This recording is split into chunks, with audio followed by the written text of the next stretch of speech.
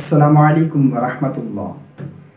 محمد ناصر، یہ سوال کرتے ہیں، وضو کرتے وقت اگر کوئی شخص سلام کرے تو سلام کا جواب دے سکتے ہیں یا نہیں؟ اس بارے میں کیا حکم ہے؟ ایک بہت ہی اچھا سوال بھائی نے پوچھا ہے۔ دیکھیں، سلام کرنا جو ہے یہ سنت ہے اور سلام کا جواب دینا یہ واجب ہے، لیکن بعض مقامات پر سلام کا جواب دینا واجب نہیں ہے۔ جس طرح کہ کوئی شخص کھانا کھا رہا تھا اور اس دوران اگر کسی نے اس کو سلام کیا ہے، تو اب اس کے اوپر سلام کا جواب دینا واجب نہیں ہے۔ اسی طرح اگر کوئی شخص وضو کر رہا ہے، اس دوران اگر کسی نے اس کو سلام کیا ہے، تو اب بھی اس کے اوپر سلام کا جواب دینا واجب نہیں ہے۔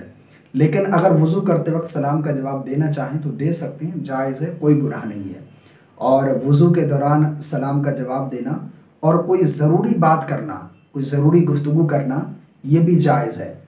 بے فالتو گفتگو کرنا، بے ضرورت گفتگو کرنا، یہ وضو کے دوران مقروع ہے۔ اور یہ عام روٹین میں بھی یعنی وضو کے علاوہ بھی بے فالتو گفتگو نہیں کرنی چاہیے۔ لیکن اگر وضو کے دوران کسی نے سلام کیا ہے یا کوئی ضروری بات کرنا چاہتے ہیں، تو کر سکتے ہیں، کوئی حرج نہیں، بالکل جائز ہے۔ اور اگر مصنون دعائیں وغیرہ پڑھ رہے ہیں جو وضو کے دوران پڑھی جاتی ہیں، اور اس دوران اگر کوئی شخص سلام کرتا ہے، پہلی بات تو یہ سلام کرنا نہیں چاہیے۔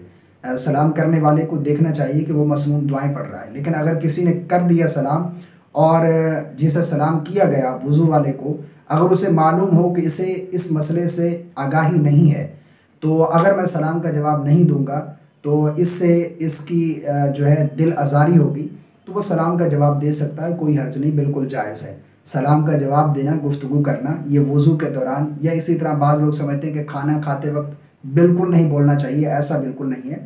ضروری گفتگو کر سکتے ہیں، لیکن بے فالتو گفتگو نہیں کرنی چاہیے۔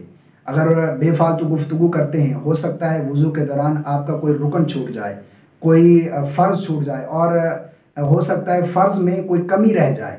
کیونکہ تہارت جو ہے نماز کے لیے یہ ضروری ہے، اور نماز کی جو کنجی ہے وہ تہارت ہے۔ تو اس لیے بے فالتو باتیں کرنے سے منع کیا گیا، اور یہ مکرو بھی ہے۔ لیکن اگر کوئی شخص سلام کرتا ہے تو سلام کا جواب دے سکتے ہیں، کوئی حرج نہیں۔